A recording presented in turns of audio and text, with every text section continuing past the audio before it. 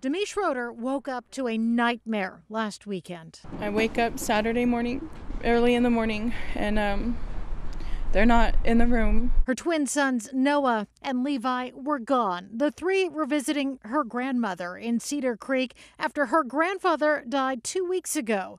Schroeder and her grandmother split up looking for the toddlers. So all of a sudden, I hear my nanny say they're in the pool back here, and I run from the front yard to the backyard, and my grandma is pulling my kids out of the pool. Schroeder thinks the boys were in the pool for just minutes and that Noah, with the bright blue eyes, went in first because he loved the water. She called 911.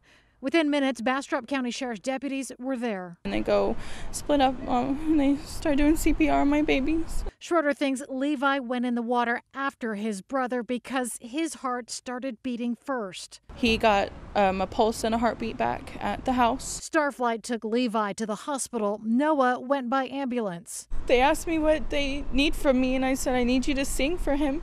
So we all sing his favorite song, and he, he had a little heartbeat. In the emergency room, Noah put up a fight for his own life. I think that was the last time his heart beat on its own.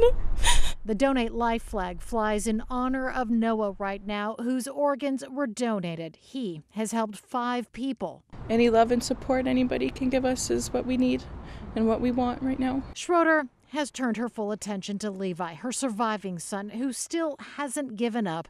Doctors say he's breathing on his own tonight. Right now, we're just uh, fighting for Levi. And that's all we're worried about is him.